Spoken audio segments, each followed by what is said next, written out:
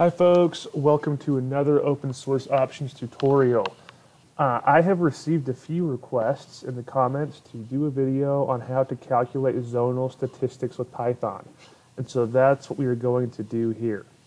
Um, for those of you who don't know what zonal, zonal statistics is, it's pulling statistics from a raster layer inside of a polygon.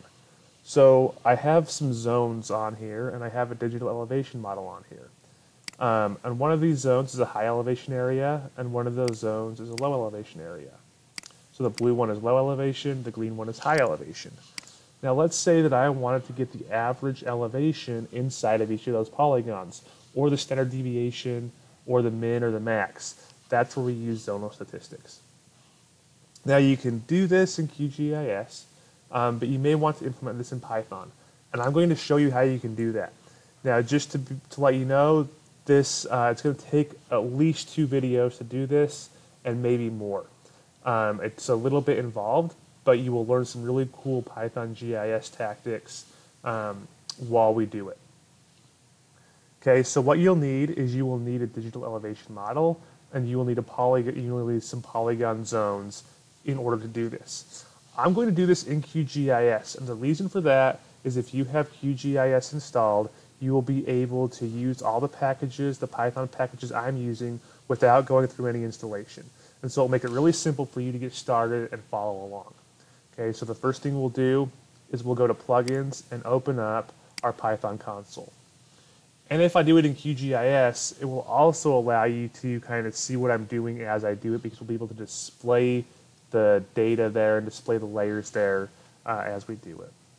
And I'm going to open the editor and um, I'm going to create a new script. That was something else I was working on there. Okay, and so what we're going to need is we are going to need um, to use GDAL in order to handle our raster data. Um, and we can probably handle our vector data directly with QGIS um, but maybe we'll use OGR to handle it so you can write this in a script that doesn't depend on QGIS. But so we want to do import GDAL and import OGR. And we'll just import those two for now. We may need some other stuff as we go on. Um, so let's start out with our file name raster. It's going to be a file name, and we want our file name for zones which will also be a file name. Now, I don't remember exactly where I saved these.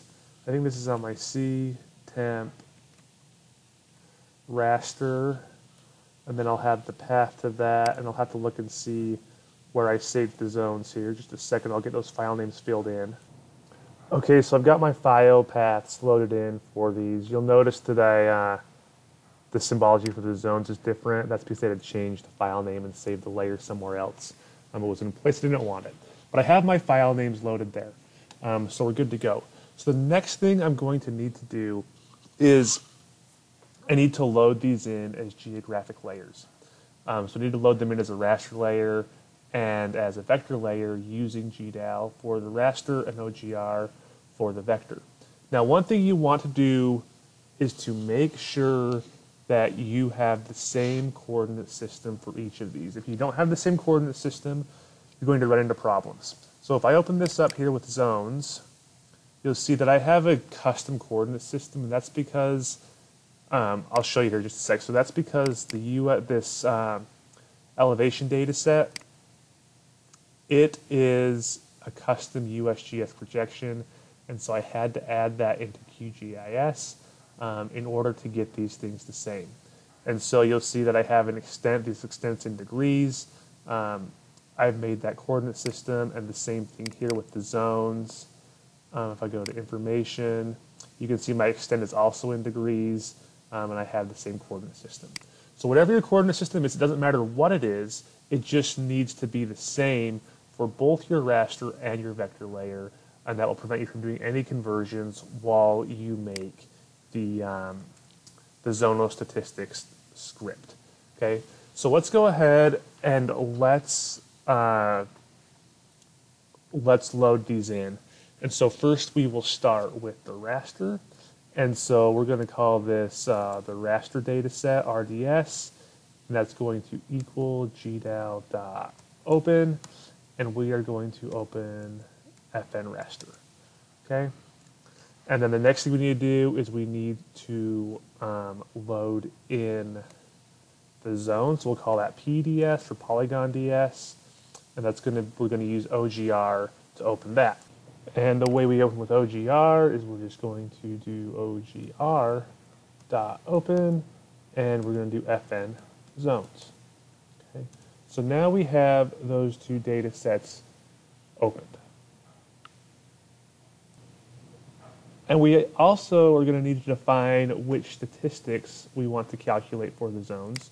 So let's go ahead and uh, just make a list of these. So we'll call these uh, stat types. I'm going to make a list here, and I'm going to include um, all of these.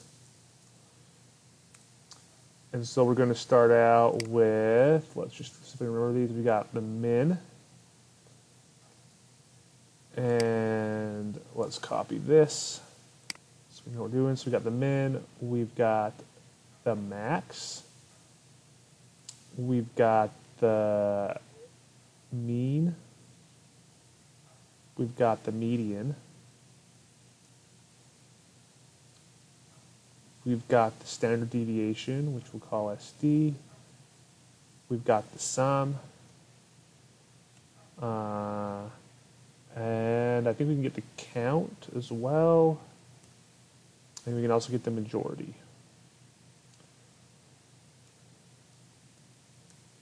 Okay, so let's give those as the stat types. Um, we may need to come back and change this, but we'll leave those as our stat types for now, and I'll double check to make sure we have all those. So for this, we'll just calculate all the statistics types for each feature so you can see how it's done. All right, so let's clean this up just a little here. I'm going to just take the stat types uh, and move it up above the file name. So this could be the first thing in our file. So there are statistics types. And now we have the data sets loaded, but we don't actually have the data for these loaded. So let's go ahead and get the data for these. And we're going to start out with the vector data set, the polygon data set. So we want to get the actual layer. So we have a, we have a uh, OGR data source loaded. We want to get the layer, which we're going to do um, LYR equals PDS dot get layer. There's only one layer in there, so that will just get the first layer. Now we're also going to need the geotransform information from the raster that tells us where the upper left corner is and what the cell size is. So we're going to create a geotransform, and that's going to equal rds dot get geotransform. All right, and so we've got that there. Now we're also going to want to make a list that we can store our zonal statistics in. Okay, so we're going to have our z stats. That's going to equal an empty list.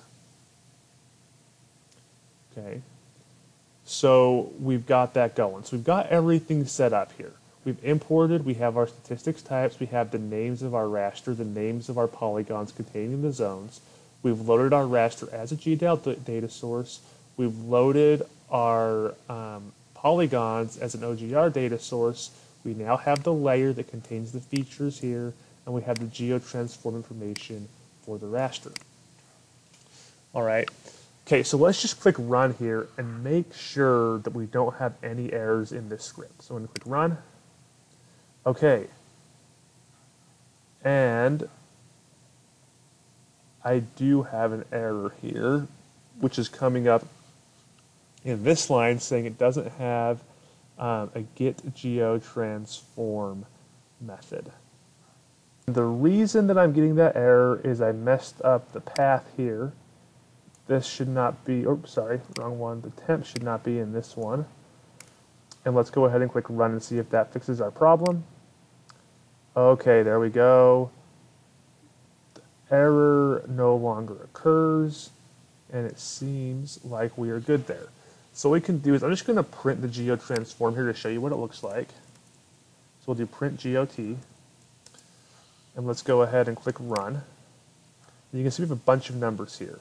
So this is the upper left X.